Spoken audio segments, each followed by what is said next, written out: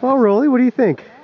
Am I on video? You are on I video. to tell you what I think. Well, I think it's okay. Better than a day at the office. Better than a day at the office.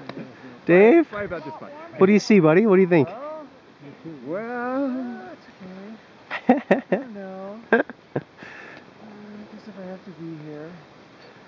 Someone's gonna do it. Alex, what's your opinion? It's very nice. It's a boring opinion, I know. That's all I have to say. That's all you got, eh? Yes.